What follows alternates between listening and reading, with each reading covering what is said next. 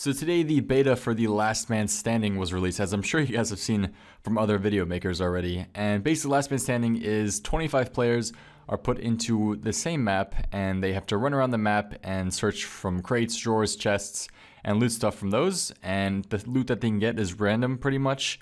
Um, what I noticed from the loot is that usually one chest will contain something magic, another chest will contain something range, and another chest will contain something melee. So it's really just random uh, in terms of that. So my thoughts so far, the first hour was extremely fun because everybody was playing it solo. Everybody didn't really know what to expect, and everybody was doing their own thing.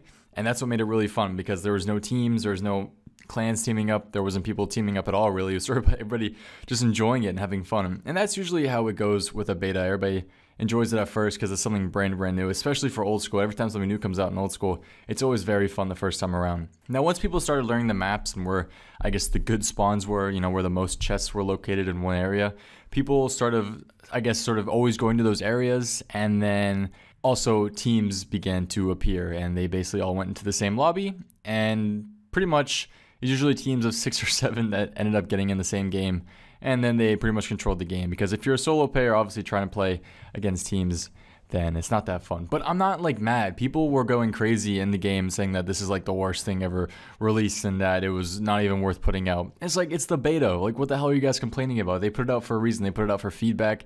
They put it out for people to let them know about bugs and stuff that they can improve. So I'm not worried at all. I had a lot of fun playing it. I played it for like 4 hours straight. And if you guys did actually play it as well, if you guys were one of the 2000 who got invited, let me know what you guys think about it below. I personally had a lot of fun and I ended up doing a lot of different things. The first hour or so I played solo, obviously. Uh, I was just enjoying it for myself and just seeing, you know, what the minigame really was. And then after that, once I noticed that other people started teaming up, I started playing with my boys Framed and Kevin, and or same person, Framed and Kevin, uh, Framed, Sir Pugger, Mr. Bug, all these people that I guess our other YouTubers started playing it together with. And then also, I just had a bunch of people who knew me in there, and we sort of just had fun together. And uh, yeah, so that was really fun. Uh, but I do hope that is improved, I guess, in the future. That it's multi everywhere in the map, and I guess that's what sort of wants you to, or it sort of forces you to clan at some point because everybody else is clanning us, and it's just. It's more convenient to be on a team, keeps you alive longer. It's pretty much like Deadman mode now that I think of it. It's just a mini game version of Deadman mode. Um, but yeah, it's it's still a lot of fun. And then I sort of noticed once I didn't have my friends online anymore and I kept playing solo that I tried one different I tried one thing that always got me in like the top 10 and many times in like the top 4 or 5.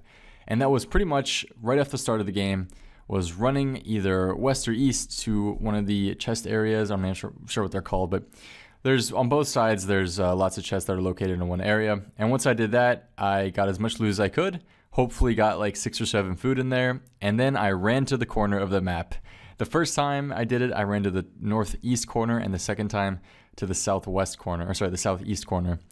And both times after i guess i had gotten as much loot as i could i just sat there. Like i just stood there doing nothing. And i know that's sort of like a boring way to play it but at that point, I knew that there was teams of six or seven in the game, and I had no chances as a solo player. So what I was hoping was was that I would just chill in a corner, and that those clans or teams would turn on themselves once they realized they couldn't find me, or once they got bored or something like that. And I, my hope was just to basically not get hit by the gas uh, once it started coming in, and then sort of just work my way towards the middle and find the spot. And hopefully, if there was only a couple players left, that they had sort of already fought and were running out of supplies, and I was there with my full, you know, inventory, well, not full inventory, but three or four food and hopefully a potion and some gear, that I could finish them off. I ended up getting second and third a couple times just doing this method. It's not really a method, just sort of something that I was just doing just to see if I could get you know, a higher place. And yeah, I never ended up winning, unfortunately. I know a bunch of other people did, but I unfortunately never ended up taking anything. You don't really get anything for winning, unfortunately, but it's just the beta. So again, I, I guess I really shouldn't expect anything. But I guess, yeah, how to almost win Last Man Standing would be a good title for this video. I think I'm gonna name it that. You start off the game with a survival stick, which is pretty much just a spear, and it's almost or a bit stronger than the Mithril Scimitar, which I don't really like because there's only three other, I think, melee weapons in the game that you can get four actually. You can get the common ones are obviously the rune and addy scim, and then there's a chance you can get a dragon scim, and apparently there's a chance you can get a whip as well, but it's very very rare. I, have only think I've only seen one so far in the couple hours that I was playing.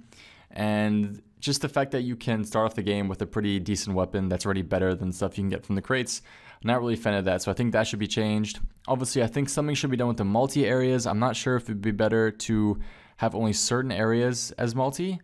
But again, then again, if um, it's just hard to think because then that could force teams just to always go to that area and they will always control that area, that area no matter what. So I'm not really sure how that should work, but it's very fun. I would absolutely love it if there could be more people in one game than 25. I think like 50 or even 100 would be really fun, but I can totally understand if that isn't possible since I'm not sure how many people will be playing the game. And I also hope that they make this open beta at one point because with only only 2,000 people were invited for the very start, and I guarantee you after a couple days, not everybody's gonna be going back to it, so it may take a while. So maybe they'll make it open beta as well. But I don't know, we'll see. At the end of the day, I still had a lot of fun playing it. I am really enjoying it, I guess, and hopefully in the next couple days, I'm not sure if they'll update it as the week goes along or if they'll listen to our feedback and then release it with a bunch of new updates. I'm not really sure how that's going to go. But uh, yeah, hopefully I'll have some live commentary for you guys soon and stream it as well because in two days I'm going back home and I will be able to stream again. And I think this will be really fun to stream. But anyways, guys, hope you enjoyed the video. Thank you all for watching. Uh, and I'll have some more stuff out for you guys soon.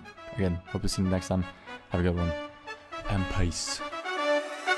Wow.